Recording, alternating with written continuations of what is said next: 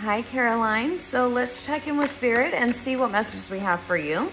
When I tapped into your energy, I felt like we needed to go to the wisdom deck. So let's see what messages we have for you. Hmm. Okay. Oh, okay. Okay. All right, so it looks like you've got an opportunity that has either been presented to you and you're you're thinking about pursuing or is coming, right? But this is something that you are very passionate about.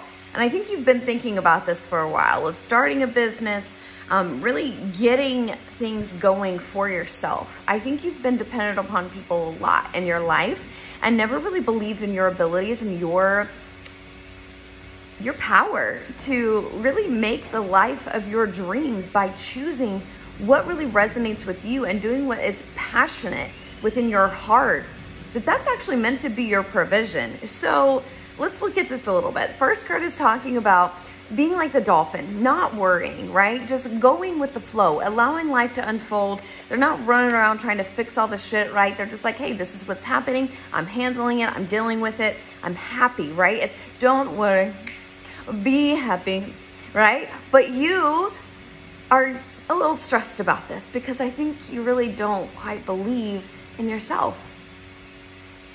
But Spirit is telling you not only is it time for you to keep your dreams alive, but you're actually getting downloads in your dreams. I feel like you've had a loved one that's come through, a, female loved one is coming through for you, that you are getting messages and confirmations, but then you wake up and you think, that's just something that I'm dreaming of. That's just something I came up with. That's something I want, so I imagine that. Honey, no, this is legit.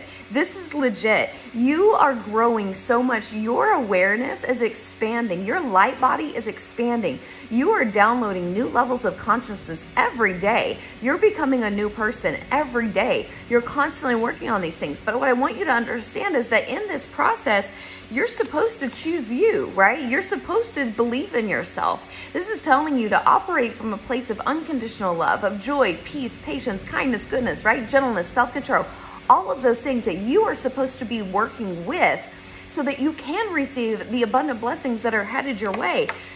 Like I said, you have this passion that is meant for you. It's meant to be your provision. So it's time to get in gear. It's time to choose what it is that you want to do for a living that is going to bring you joy, that is going to bring you to that place of just operating from a place of passion and zeal to where you love doing what you do.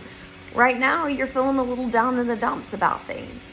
And this is telling you that, hey, look, I, you ain't trying to stay there. You see her, she moving. She's like, okay, I may be feeling down right now. I may be struggling, but you know what? I know where I'm meant to go. I know what my purpose is. I know what spirit has for me. That's you. You know that you're meant for more. You know that you have a big call on your life. And if you choose, you can step into this very quickly right? You just need to take action. Just take that next step. You have some new friendships that are coming along the way. I think you already have some of these people in your life that really truly love and support you and want to help you in this venture and are meant to help you. But you have to choose to one, believe in yourself, two, to go after it and do it, and three, let people know how they can support you. You are amazing and your talents, your skills, your abilities weren't meant to be in the closet. Show up for yourself and watch how your life changes.